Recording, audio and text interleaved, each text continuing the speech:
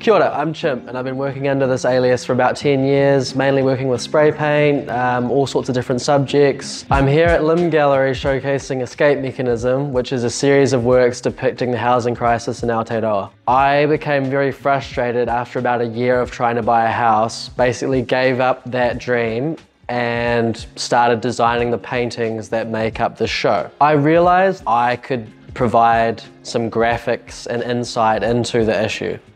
My process to create art is I go back and forth between sketching and manipulating on Photoshop digitally.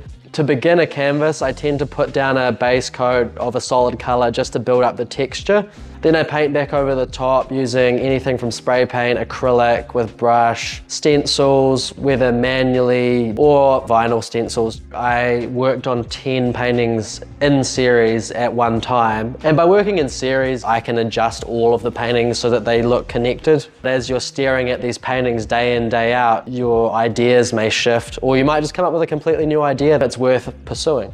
The show is open from the 22nd until the 7th of August. We'll be happy to have you.